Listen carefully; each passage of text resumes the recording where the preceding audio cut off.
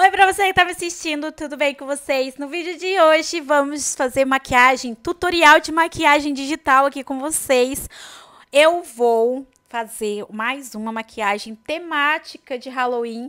Se vocês quiserem outro tipo de maquiagem, deixa comentários aqui, deixa sugestões de vídeos que vocês gostam, porque eu tô sempre vendo comentários de vocês para ter ideia de vídeo.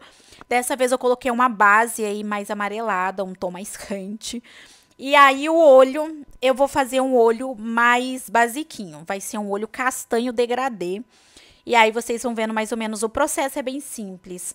Basicamente eu tô com caneta digital, eu vou fazer toda a base do olho. Eu prefiro que seja assim, porque eu acho que facilita. Então eu faço toda essa parte, né, realmente da base do olho. Uma vez que eu fiz essa base do olho, eu vou clonar, inverter e já fazer do outro lado para não precisar fazer duas vezes. Depois que eu fiz isso, eu vou juntar essas duas camadas e aí eu vou vincular, né, para não ultrapassar. E aí a lógica que eu faço é para cima são tons escuros, para baixo tons mais claros. E aí eu simplesmente vou completando assim, igual vocês estão vendo. E tá vendo nascer aí o degradê, degradê, quase que não sai. O degradê.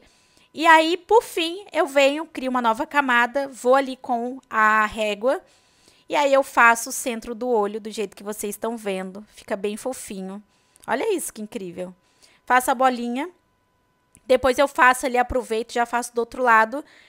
E aí depois eu tiro a régua e só venho preenchendo. E aí fica bem bonitinho. O olho tá ok, agora sim a gente vai poder é, fazer a nossa maquiagem digital.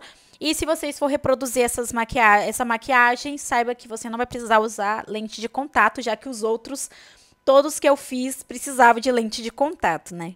Então, fiz aqui o contorno do olho, do rosto, um contorno bem marcado, e aí eu venho aí com desfoque e desfoco tudo do jeito que vocês estão vendo aí, bem fofinho.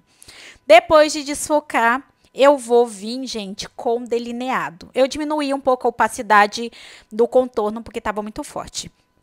Depois eu venho com caneta de tinta, né, que é a, o pincel. E aí eu venho aí fazendo, no caso, delineado, liguei o estabilizador, começo puxando aqui como se fosse um Force Ice, sabe? Só que eu vou mudar bastante esse Force Ice, porque ele começou de um jeito e aí eu vou mudando, sabe? Porque é a primeira vez assim que eu faço esse estilinho. Então eu fui apagando, é, tirando um pouco o volume e aí agora eu vou fazer a parte do delineado. O delineado eu vou fazer naquele estilo que eu falei para vocês que eu gosto bastante, que é esse estilinho de simplesmente vir puxar da metade para alongar o olho. E aí depois eu venho preenchendo do jeito que vocês estão vendo. Vou fazendo isso e depois que eu vou vejo que ele está bem retinho, aí aqui é mais fácil, que aí realmente é só completar. E aí eu também fiz o delineado sendo puxado por baixo, sabe? Que eu acho que dá uma inteirada no olho.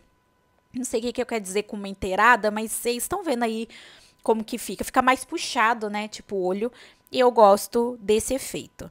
Quando eu comecei a fazer, eu não tinha muita ideia de como que ia ficar, o que, que eu estava fazendo, mas, gente, me surpreendeu muito, porque eu fui construindo e eu comecei a fazer num estilo, ele foi para outro estilo e ficou sensacional. É, todos que eu fiz, eu peguei algumas referências na internet, mas eu não cheguei. Tipo assim, não é tudo de uma coisa só. Eu pego, ah, um delineado de um que eu achei legal, às vezes uma sombra de outro que eu achei legal, e aí eu vou criando minha própria maquiagem. Clonei, inverti, e agora eu vou assentar aqui, acertar certinho o olho. Temos aí o delineado nos dois lados. Depois disso, eu pego aí um laranjinha, bem mais escuro, fechado, e aí eu vou trazer para o rosto para deixar o tom mais quente. Eu acho que tinha tudo a ver, sabe? E aí depois eu vim aí dando aquela esfumada. E agora, gente, eu peguei o pincel lápis não, eu não peguei o pincel de lápis, não. Eu peguei o pincel caneta de tinta, mas eu deixei ele bem fraquinho, bem fininho. E fui fazendo linhas dentro de linhas, igual vocês estão vendo. Tá vendo? Assim, tipo, desse jeito que vocês estão vendo. E aí, agora eu vou fazer a teia da aranha. Eu sei que tá um pouquinho é, fraco, mas depois eu vou mostrar pra vocês como que eu vou engrossar essa teia de aranha. porque eu prefiro que seja fraquinho e se eu quiser eu deixo mais forte do que eu fazer forte e depois não ter como reverter, sabe? Assim, tipo, eu vou indo devagar, igual se vai em maquiagem mesmo, é isso, basicamente. E aí eu vou acrescentando do jeito que vocês estão vendo. E aí eu vou dando a, volta. É como se fosse um, um U, sabe? Mais raso, assim, quando eu vou fazendo essa parte da teia da aranha. E aí eu vou fazendo até onde der, tipo, até acabar uma dessas pontas que eu fiz de linha aí.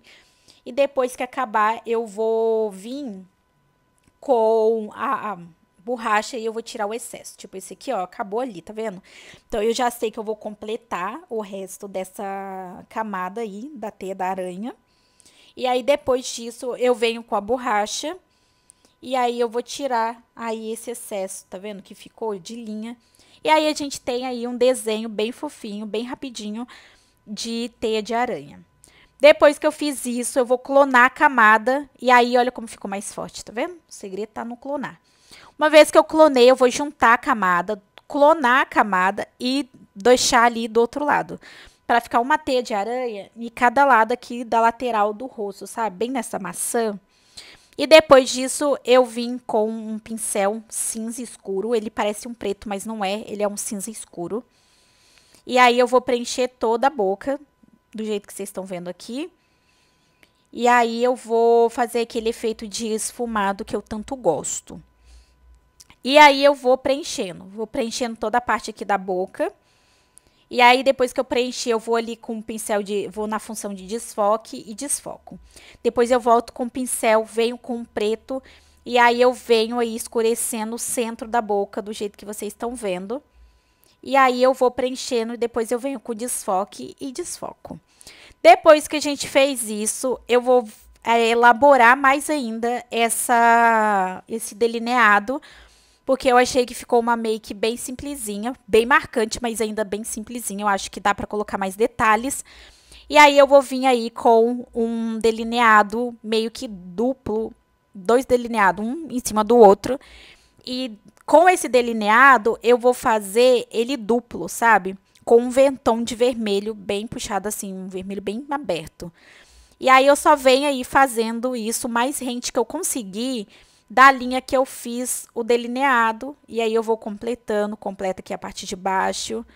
Aí eu vou completar também essa parte aqui, ó, eu vou fazer, né, na parte de baixo do delineado, perto aqui nesse puxadinho para fazer o force ice e na parte de cima aqui do delineado juntando, para dar realmente detalhes na maquiagem. E aí eu vou preenchendo do jeito que vocês estão vendo. E aí depois disso eu simplesmente vou clonar e trazer isso para o outro lado. Clono, inverto e encaixo, basicamente. Se você for fazer isso manual, boa sorte é, fez bonito de um lado, agora eu quero ver você fazer do outro. e aí, gente, depois disso, eu venho aí com um blushzinho para dar uma cor, né? Um tom de vermelho mais escurecido, puxado pro vinho. Vou esfumar e vou mostrar para vocês o resultado final. E, pessoal, esse aqui foi o resultado final. Nós temos aí os detalhes, né, da teia de aranha, um batom preto né? E um delineado aí duplo, bem bonitinho, bem legal, bem na, da, do estilo que tá na moda. A pele foi bem normal, com contorno bem normal mesmo. E eu peguei aí um blushzinho para dar uma cor a mais. Espero que vocês tenham gostado. Não se esqueça de se inscrever para acompanhar todos os vídeos que tem aqui no canal. Entra aqui no canal que provavelmente tem mais vídeos para você assistir eu trouxe. Eu vou diversificando aí os conteúdos para vocês. E é isso, até o próximo vídeo.